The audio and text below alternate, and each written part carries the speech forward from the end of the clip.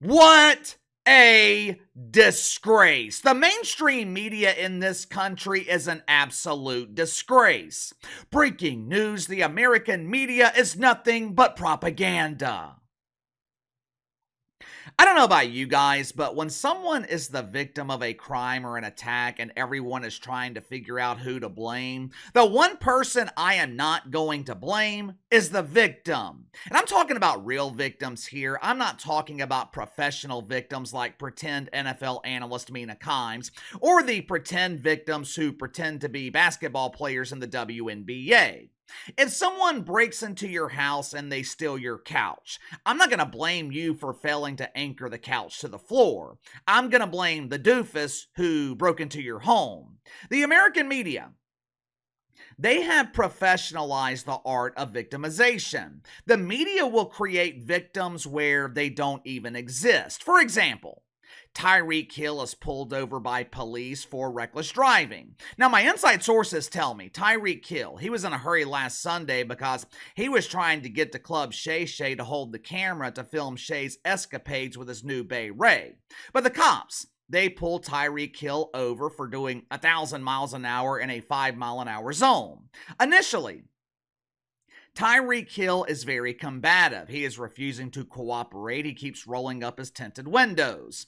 Now, most normal people, we looked at Tyreek Hill as the perpetrator. Not the mainstream media, though. No, no, no, no, no! Tyreek Hill can't be the perpetrator. He checks too many woke boxes. According to the media, Tyreek Hill was the ultimate victim. The media loves, I mean, they love to create and celebrate victims. Unless, of course, the victim's name is Orange Bad. If you haven't already, make sure to like and subscribe. You can follow me on Twitter at KC underscore BTL84. Link to the second channel in the description below. Thank you guys for supporting the second channel. Within the first week of launching the second channel, we were able to meet YouTube's qualifications for monetization. Now, when I launched the main channel here, it took me, I think, 18 months to get monetized. Though, thanks for your support. We were able to get the second channel qualified in just seven days. I cannot tell you how much I appreciate it. Last week, one of my longtime viewers, he copied me on an email that he was sending to the New York Times. The subject line of the email read Bill O'Reilly finally tells the truth about Obama, proving that most cable news is propaganda. Last night, Bill O'Reilly, he sat down with some dude named Leland Vittert on News Nation. Now, this was surprising for a couple of reasons. Number one, I didn't know there were other people working at News Nation besides Chris Cuomo. Hey, it's me, Chrissy C. I didn't know News Nation could afford to hire other journalists. I thought they aired an hour of Chris Cuomo every night in prime time, and the other 23 hours of the day were filled with reruns of The Brady Bunch. But the main reason that this was surprising is because of what Bill O'Reilly said about Barry the Obama. If you're under the age of 30 or maybe 25, I'm sure you're asking, who in the hell is Billy Riley? For 20 or so years, Bill O'Reilly hosted the number one show in cable news. Hell, he might have hosted the number one show on cable, period. He was working at Fox News, Bill O'Reilly, he was brutal with his criticisms of Barry Obama. Eight years ago, when Barry was handing the keys to the White House to the Trumper, Bill O'Reilly called his presidency a disaster, claimed that Obama was one of the weakest presidents in history. Last night, when he was talking to Leland Vittert and the handful of people watching his show on News Nation, also known as the Vittert family, Bill O'Reilly claimed that Barry Obama was the hardest working president in modern history and that he didn't think that he was damaging to the country. Now, whether you agree with Bill O'Reilly or not, that's not the point.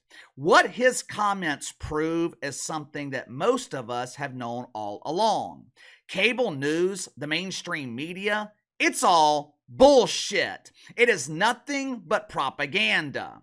When he was cashing checks from Fox News, Obama was the devil. When he is talking to the Vittert family at News Nation, oh, you know, Barry wasn't so bad. Me and Barry have a great relationship. He's my tag team partner when we are playing against Johnny B. Biden in Dungeons and Dragons. I'm sure all of you guys know by now that there was another attempt on the Trumper yesterday afternoon. You know, it's getting harder and harder for me to believe that the Secret Service is this incompetent. How in the hell can there be two attacks on a former president in the past two months? This doofus yesterday, he was within a few hundred yards of the Trumper. How? How can that happen? I thought the Secret Service was the elite of the elite. I thought these were supposed to be some of the best agents in the country. And look, the field agents, the field agents yesterday were phenomenal again. According to the Trumper himself, the agents that were closest to him, they diffused the situation with a quickness. When I talk about the incompetence, I'm not talking about the Secret Service agents in the field. I'm talking about the decision makers. I was notified about the attack on the Trumper. I think it was during the first half of the Saints' demolition of the most overrated, overpaid quarterback in the NFL. When things like this happen, one of the first questions that you ask is who is to blame? Who is at fault? Now, naturally, most people are going to blame the attacker. But beyond that, you might blame the Secret Service. You might blame the people running the country. The choices are endless. The one person most people are not going to blame is the victim, which in this case is Donald Trump. I mean, seriously. How in the hell could you possibly blame the Trumper? How would you justify it? Well, KC, it is so obvious that this is Trump's fault. He was playing golf yesterday and it was Sunday. This is a blatant violation of the woke commandments. Remember the Sabbath and do absolutely nothing that day, just like the other six days of the week. Hmm. Us normal people, whether you agree with him politically or not, you are not going to blame the Trumper for his own attack because we don't practice the fine art of shit fuckery. Unfortunately, I can't say the same for the wanker spankers in the mainstream media. Gonna show you two clips. One is of Lester Holt from NBC News, which aired several hours after the attack. The other clip it features two unknown women collecting woke welfare from MSNBC.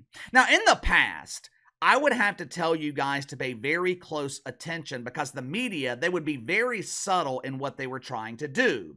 But yesterday, there was no subtlety. Like I told you guys last week, the masks have been removed. The media is no longer afraid to show you exactly who they are. Watch for yourself. Today's apparent assassination attempt comes amid increasingly fierce rhetoric on the campaign trail itself. Mr. Trump, his running mate J.D. Vance continue to make baseless claims about Haitian immigrants in Ohio. Do you expect to hear anything from the Trump campaign about toning down the rhetoric, toning down the violence, or would that be atypical of uh, the former president? Um, what? Excuse me? Let me make sure I'm understanding this correctly. NBC wants me to believe that so called rhetoric from Trump and James Vance could be responsible for what happened yesterday. NBC wants me to believe that JD Vance talking about the Haitians' love of Garfield could be the reason Trump was attacked yesterday. One of the unknown women from MSNBC, she openly wondered if this would cause Donald Trump to tone down the violence. What violence? Someone please explain to me what violence she is talking about. Give me one example of Donald Trump or J.D. Vance or anyone associated with their campaign inciting violence. Well, KC, what about the heinous, barbaric attack on January 6th? Oh, I'm still traumatized by the events of that dangerous day. Oh, oh, oh,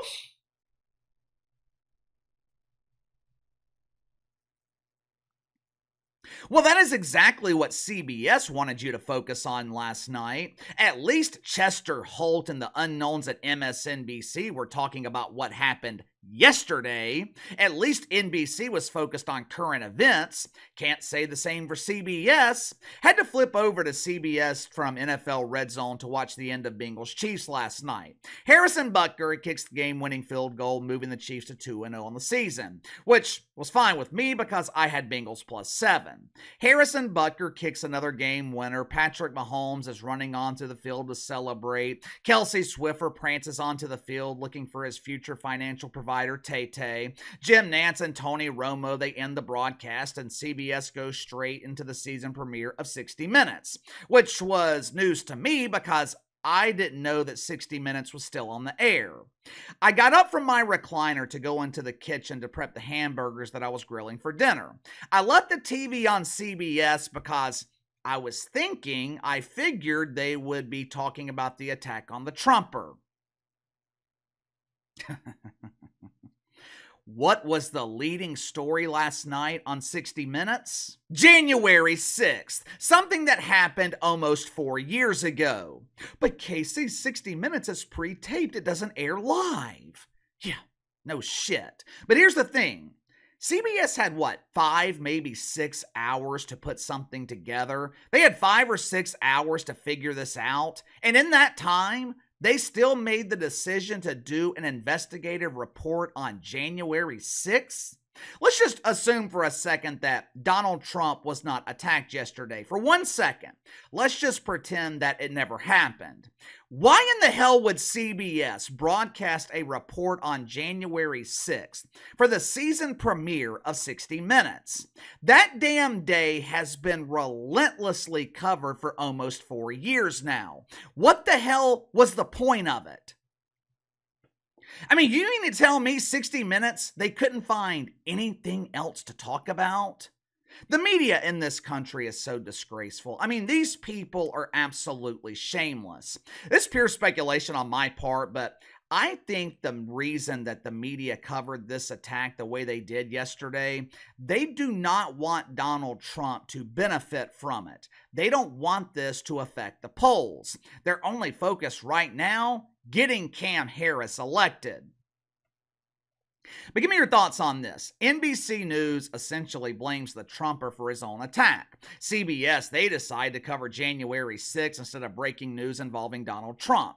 Is it any wonder why there is no trust in the American media? Seems like they will do anything to tarnish Donald Trump. This dude goes through his second attack in two months, and the media either blames him or they want to talk about January 6th. Give me your thoughts on it. Sound off in the comments below. Like, subscribe, share the video. Appreciate your support. Best way to contact me is by email at btlkc84 at gmail.com, and I'll see you guys later.